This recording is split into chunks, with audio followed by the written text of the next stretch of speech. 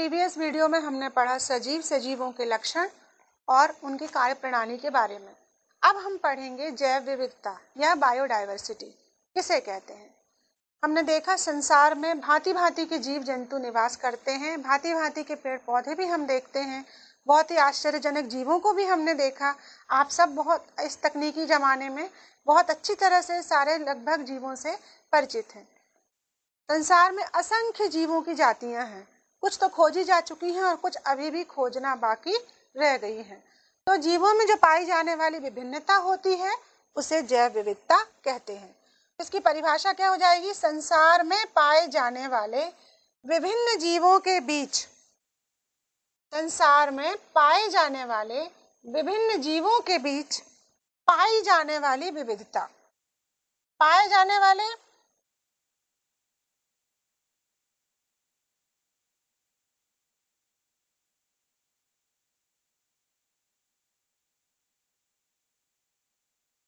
विभिन्न जीव भांति भांति के जो जीव हैं और उनके बीच भी पाई जाने वाली जो विविधता है, उसको हम जैव विविधता कहते हैं। ये बेटा दो नंबर के क्वेश्चंस में आते हैं परिभाषाएँ वगैरह। तो जैसा कि आप सब चित्र में देख रहे हो कि किस प्रकार के संसार में भांति भांति के जीव पाए जाते हैं। हमारे सराउंडिंग एरियाज़ में ही बहुत प्रकार के जीव पाए जाते हैं। उनके लक्षण भी भिन्न भिन्न प्रकार के होते हैं। आप चाहें, अगर ये फोर मार्क्स के क्वेश्चंस में आता है बच्चों तो एक बात ध्यान रखिए कभी भी जीव विज्ञान में अगर आप कोई आंसर करते हैं तो कोशिश करिए कि उसमें आप चित्र बनाइए। चित्र बनाने से वो आंसर जो है बहुत प्रभावशाली हो जाता है और चूँकि हम बायो के स्टूडेंट्स हैं तो बिना डायग्राम्स के हमारी जीव विज्ञान कंप्लीट नहीं होगी। तो आपको डायग्राम्स बनाने की प्रैक्टिस बहुत अच्छे से करना है। तो जैव विविधता, ये देखो, संसार में पाए जाने वाले भांति भांति के जो जीव हैं, ये जैव विविधता शो करते हैं। अगर हम बहुत डीप जाएँ तो हम देख रहे हैं यहाँ पर एक कोश की जीव भी है, समुद्री जीव भी है स्टार फ़िश भी है मतलब अलग अलग भांति भांति कीट पतंगे भी हैं भांति भांति के छोटे छोटे प्लांट भी हैं, कुछ ऐसे भी पौधे हैं, जो बिल्कुल सूक्ष्म रूप में हमको दिखाई देते हैं।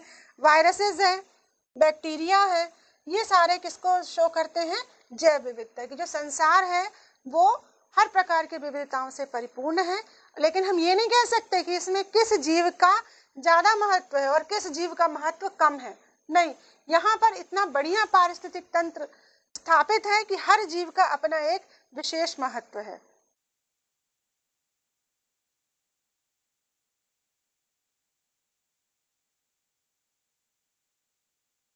आप एक बात बताइए मुझे आपके घर में कई प्रकार का सामान होता है। आपके पास सोफा, कूलर, फ्रिज, टीवी, रसोई के खाने का सामान एटसेट्रा एटसेट्रा बहुत सारा सामान हम क्या करते हैं? घर में रखते हैं। लेकिन आप ये बताओ, एक ही कमरे में सारा सामान डंप कर देते हो क्या आप लोग? नहीं ना? अपने घर की वस्तुओं को व्यवस्थित रखते हैं ताकि हम उसको रोज़मर्रा की ज़िंदगी में व्यवस्थित ढंग से उपयोग कर सकें, उनको आसानी से पहचान सकें, साथ ही साथ हम भी खुद भी उसके साथ व्यवस्थित रूप से चल सकें। उसी प्रकार से जब हमको ये पता है कि संसार में बहुत अधिक प्रकार की विभिन्नताएँ हैं, जीव, जंतु, पौधे भी कितने हैं भिन्न भिन्न प्रकार के हैं तो उनको सबको अध्ययन के लिए एक ही साथ रखना बहुत असंभव कार्य हो गया। हम एक साथ रख करके उनका अध्ययन नहीं कर सकते। तो अध्ययन को सरल बनाने के लिए हमने क्या किया? वर्गीकरण की आवश्यकता महसूस हुई किसकी आवश्यकता महसूस हुई? वर्गीकरण की। पूर्व में अरस्तु ने इनको एनीमा और एनीमा में, एन एनीमा में रख दिया था और सबसे पहले वर्गीकरण में क्या किया गया था कि जो जीव जगत है, उसको दो भागों में बांट दिया गया था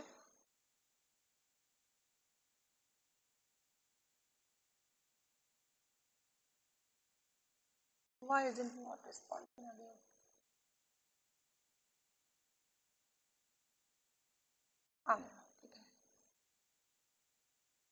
तो उन्होंने क्या किया? जीव जगत जो है, उसको मोटे तौर पे दो भागों में बांट दिया कौन कौन से? प्राणी जगत। इसके अंतर्गत उन्होंने दो भागों में उसको बांट दिया, प्राणी जगत और वनस्पति जगत, मोटे तौर पे। लेकिन अभी भी इनका अध्ययन बहुत सुविधाजनक नहीं हो रहा था। तो इसी में जीव विज्ञान में एक शाखा वर्गीकी का उदय हुआ। अनेक वैज्ञानिकों के सतत प्रयास के दौरान वर्गीकी का उदय हुआ, जिसको इंग्लिश में बोला गया टेक्सोनॉमी। टेक्सोनॉमी अब वर्गीकी से आप क्या समझते हैं? अगेन ये क्वेश्चन आपको लिखने आ सकता है एग्ज़ाम में। तो बिल्कुल सरल है, वर्गीकी यानी वर्गीकृत करना। और किस आधार पर वर्गीकृत करते हैं अपन? समान लक्षण, समान गुणों के आधार पर उनको वर्गीकृत किया जाता है। तो वर्गीकी की परिभाषा क्या हो जाएगी? विभिन्न जीवों को उनकी समानताओं एवं असमानताओं के आधार पर, क्योंकि सभी जीव समान नहीं हो सकते। तो विभिन्न जीवों को उनकी समानताओं एवं असमानताओं के आधार पर छोटे बड़े, वो जीव आपस में समूह, उनके छोटे भी हो सकते हैं और बड़े हो सकते हैं। तो छोटे बड़े विभिन्न समूहों में विभाजित करना उनका वर्गीकरण कहलाता है। पहला पॉइंट तो ये क्लियर हो गया कि वर्गीकरण किसे कहते हैं। फिर तथा जीव विज्ञान की वह शाखा जिसके अंतर्गत जीवों के वर्गीकरण का अध्ययन किया जाता है। बिल्कुल ध्यान दीजिए, ये ऑब्जेक्टिव टाइप के क्वेश्चंस में भी आ सकता है कि जीव विज्ञान की वह शाखा जिसके अंतर्गत जीवों के वर्गीकरण का अध्ययन किया जाता है, वर्ग की कहलाती है। यानी वर्ग की वह शाखा हो गई जीव विज्ञान की, जिसके अंतर्गत हम जीवों के वर्गीकरण का अध्ययन करते हैं। सबके आप नोट्स बनाना है बच्चों, बिल्कुल भूलिएगा नहीं, आपके नोट्स कंप्लीट होना चाहिए।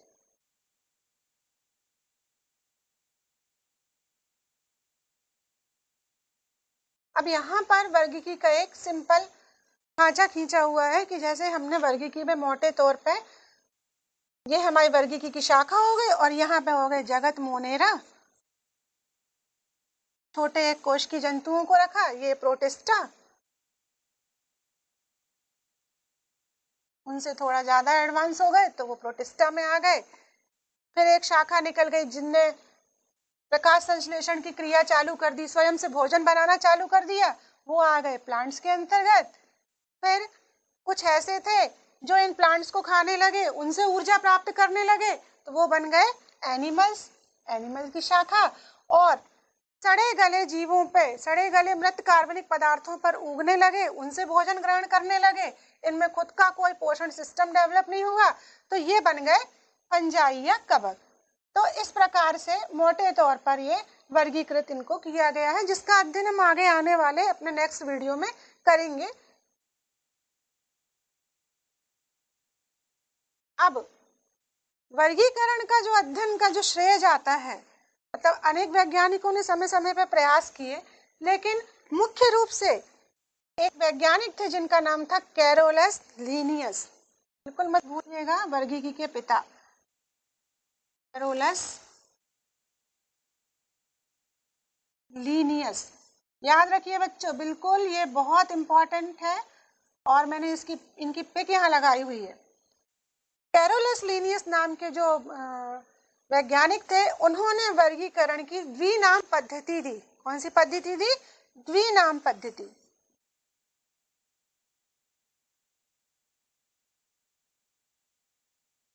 इसमें एक नाम पर्टिकुलर उसके वंश का और दूसरा उसकी जाति का होता था। इसके बारे में भी हम आपसे आगे की वीडियो में पूरा डिटेल अध्ययन करेंगे। तो ये कैरोलस लीनियस हैं, जिन्होंने वर्गीकरण की पद्धति का श्रेय इनको जाता है। अब है वर्गीकरण विज्ञान और व्यवस्था। ये आपका अगला पॉइंट है। वर्गीकरण विज्ञान और व्यवस्था की किस प्रकार से वर्गीकृत किया जाता है, कैसे उसमें व्यवस्था दी जाती है, उसके बारे में हम समझेंगे। लीनियस ने बाइनोमियल सिस्टम ऑफ़ नॉमेनक्लेचर को बताया और उन्होंने हम उनके इस प्रयास से भविष्य में भी और आगे भी और अभी भी अध्ययन करना सुविधाजनक हो गया इनका। तो अगर हम देखें तो दो संस्थाएँ इस समय वर्किंग में हैं। एक है ICBN international code of botanical nomenclature यह संस्था जो है, ये पादपों से संबंधित वर्गीकरण, नामकरण और उनसे संबंधी नियमों का प्रचार प्रसार करती है और उसके बारे में अध्ययन करती है। दूसरी संस्था है ICZN international code of zoological nomen अर्थात प्राणी जगत, जंतु जगत के बारे में यह संस्था नाम, वर्गीकरण, पहचान, विकास का अध्ययन करती है ये वाली। ये दो को आपको बहुत अच्छे से याद रखना है और इनके फुल फॉर्म भी याद रखना है। और कैरोलस लीनियस ने सर्वप्रथम, जैसा कि मैंने पहले बताया, द्विपद नामकरण पद्धति को प्रस्तुत किया और उनकी जो पुस्तक थी, ये पूछी जाती है कभी कभी आपसे क्वेश्चंस में कि उनके द्वारा लिखी पुस्तक का नाम क्या है।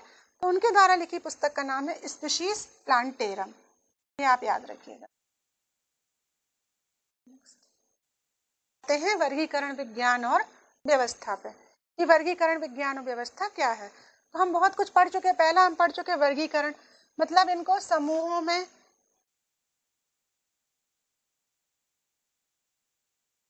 सबसे पहला आता वर्गीकरण या क्लासिफिकेशन। तो किसी भी जीवधारी को, किसी भी लिविंग बींग को हमने किसमें रखा? समूहों में जातियों नामकरण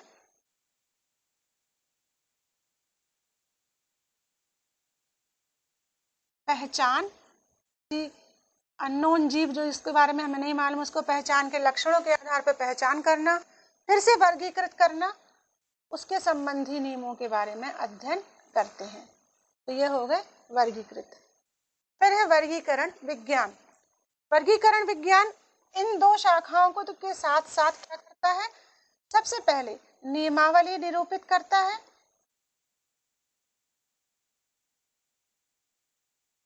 किसी भी जीवधारी का इस पृथ्वी पर जीव विज्ञान से संबंधित उसका जैव विकास।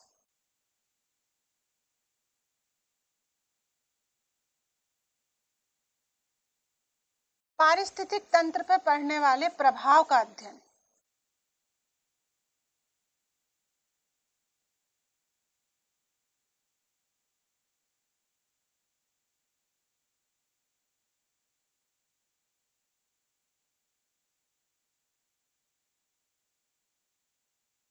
ये जो है, वर्गीकरण विज्ञान के अंतर्गत किया जाता है। मतलब पूर्ण रूप से वर्गीकृत करना, नामकरण करना, उसके जैव विकास का अध्ययन करना किसी जीव का, इस जीव विज्ञान में, इस बायो में, इस पारिस्थितिक तंत्र में क्या महत्व है? इन सब का रिलेशन जो है, वो वर्गीकरण विज्ञान के अंतर्गत रखा जाता है।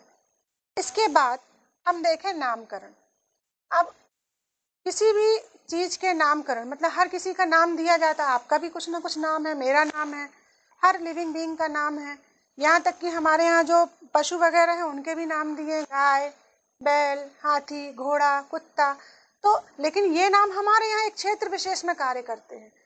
ऐसा कोई सर्वमान्य नाम होना चाहिए, जो चाहे हम किसी भी देश में जाएँ, किसी भी परिवेश में जाएँ, वहाँ पर ये नाम रहा है तो इसलिए क्या आवश्यकता महसूस की गई कि जंतुओं को, पादपों को अध्ययन की सुविधा की दृष्टि से उनका एक सर्वमान्य नाम देने की प्रक्रिया चालू हुई, जिसे कहते हैं नॉमन तो नॉमन जो है, उसमें है साधारण नाम। ये सिंपल नाम है जो किसी क्षेत्र विशेष में होते हैं। जैसे हम क्या कहते हैं? भारत में जो छोटी चिड़िया होती है, उसको कहते हैं गौरैया। गौरैया, ठीक है? और इंग्लैंड में उसको क्या कहते हैं? इंग्लैंड में उसको हम कहते हैं हाउस स्पैरो।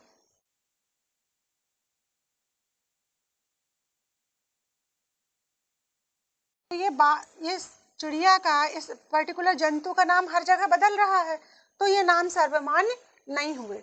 इसके बाद फिर क्या आया? कौन सा कॉन्सेप्ट आया? वैज्ञानिक नाम रखने का, कि इनका साइंटिफिक नाम लिखा जाए। तो शुरू में क्या किया?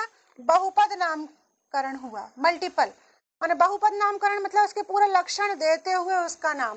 तो ये नाम जो होता था, बहुत बड़ा होता था, और वो अध्ययन की सुविधा की दृष्टि से जो था, वो संभव नहीं था। बार बार इतना लंबा नाम लेना आसान नहीं होता।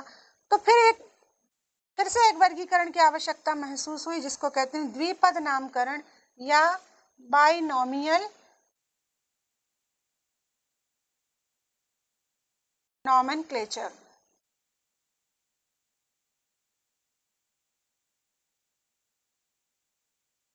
बाइनोमियल नॉमन क्लेचर यानी द्विपद नामकरण, माने दो शब्दों से उनका नामकरण कर दें और उस उस इंडिविजुअल जीव की पहचान हम कर सकें।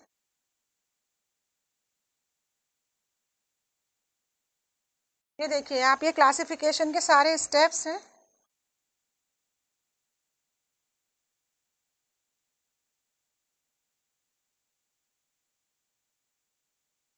जो कि बढ़ते हुए क्रम में बोल दें और आप घटते हुए क्रम दोनों में कह सकते हैं। सबसे पहले आएगा स्पेशीज फिर genius family order class phylum और किंगडम इसके बारे में हम आपको नेक्स्ट वीडियो में अध्ययन करेंगे।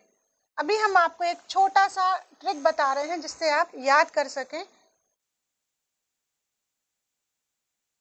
कैसे आप उसको अध्ययन के सीरियल ऑर्डर को याद करके रखेंगे। तो सबसे पहले आते हैं हम जगत। जो जंतु जगत है, जीव जगत है, वो दो भागों में बट गया, पादप जगत और जंतु जगत। पादप जगत को समुदाय यानी फाइलम कहा गया और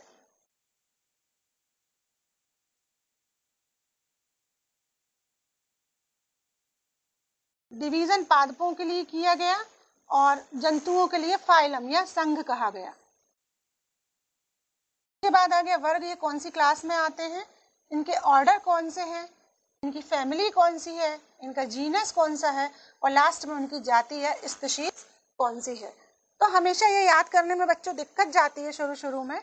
तो आप एक बहुत छोटा सा फॉर्मूला में लिख के लाई हूँ, उससे आपको पूरा याद हो जाए did king Philip come over for great spaghetti क्या फॉर्मूला आप याद रखेंगे?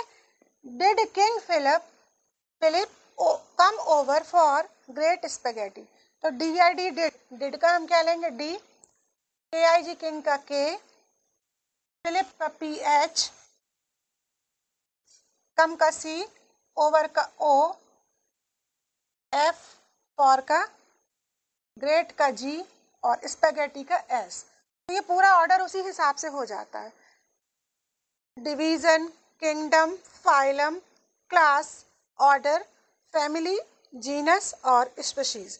ये बच्चों आपको बहुत अच्छे से याद करके अभी से रखना है ताकि हम अपने नेक्स्ट वीडियो में नॉमन क्लेचर सिस्टम को आपसे डिस्कस कर सकें। थैंक यू बच्चों। आप इसको बहुत अच्छे से पढ़िए, अपनी नोटबुक में नोट बनाइए इसके, और अच्छे से इसको लर्न करके रखिए इस ऑर्डर को, इस फॉर्मूले को, ताकि हम नेक्स्ट वीडियो में जब आपको हम पढ़ाएँगे नॉमन और उसका सिस्टम तो आपको अच्छे से समझना आए